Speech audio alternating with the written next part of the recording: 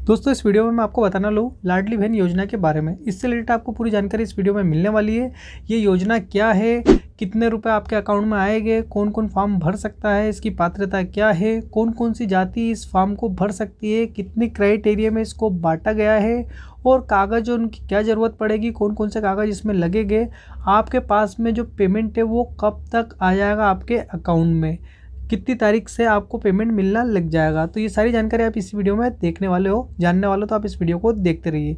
चलिए, सबसे पहले मैं आपको बता देता हूँ, जो लाडली बहन योजना है, ये मध्य प्रदेश सरकार द्वारा निकाली गई है, शिवराज सिंह चौहान के द्वारा, जो कि इनके जन्मदिन के टाइम इसको कर दी है लॉन्च और इसमें क्या होगा कि हर बहन जो भी रहेगी, इस क्राइटेरिया से कंप्लीट हो जाएगी मतलब जो भी इससे रिलेटेड इस फार्म की जो एलिजिबिलिटीज़ है, उसको पूरा कर देगी तो उसके हर महीने में दस तारीख को उसके अकाउंट में एक हज़ार रुपये ट्रांसफ़र की जाएगी सरकार के द्वारा।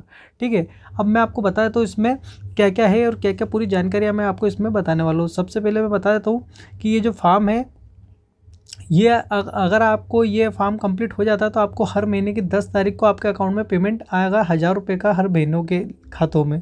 उसके बाद में पहले साल के लिए जो इनका टोटल प्रावधान रखा गया है वो आठ हज़ार करोड़ रुपए का है। इस योजना में सरकार के द्वारा और इसमें कोई आपको आय प्रमाण पत्र की आवश्यकता नहीं होगी, इसमें नहीं पड़ेगी। इसको तीन कैटेगरी में निश्चित किया गया है। ये जो कैटेगरी है वो क्या है?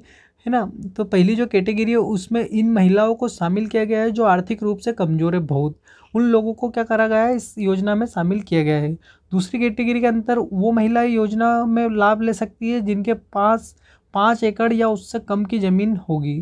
तीसरी जो कैटेगरी आती है, वो आती है जिसमें जो महिला है, जिनकी सालाना आय ढाई लाख रुपए से क्या हो, कम होना चाहिए। ढाई लाख रुपए या ढाई लाख रुपए से कम होना चाहिए। वो भी इसमें पात्रता ले सकती है मतलब वो भी इस फॉर्म को फिल कर सकती है। ठीक है, वो भी इसके एलिजिबल है इसके लिए, इस फॉर्म के लिए। उसके बाद इस स्कीम का जो लाभ है, मध्य प्रदेश सरकार की महिला ही ले सकती है, ये भी आपको पता होना चाहिए। सिर्फ़ जो एमपी में लोगों ने, वही इस फॉर्म और इस लाभ को ले सकते हैं। उसके बाद में जो जाति की बात करते हैं कि जिससे कौन कौन सी जातियाँ इस फॉर्म को फिल कर सकती है तो जाति में कोई ऐसी नहीं है। अनुसूचित जाति, जनजाति, सारे पिछड़ा वर्ग या सामान्य सभी इसमें एलिजिबल है इस फॉर्म को भरने के लिए। तो ये हुई हमारी बात जो भी आपकी थी। ये कब आ जाएगी? दस तारीख को, जून में। दस तारीख को आपके अकाउंट में पेमेंट आने लग जाएगा। और ये जो रहेगा, ये अभी मार्च और अप्रैल के बीच में आपके घरों पे इनकी जो टीम है, गवर्नमेंट सरकार की, इस योजना की, वो आपके घरों पे जाके आपके सामने बैठ के फॉर्म भरवाएगी। आपको इस बात का ध्यान रखना है, ठीक है? और वो वहाँ से फॉर्म भर के आपको कंप्लीट करेंगे।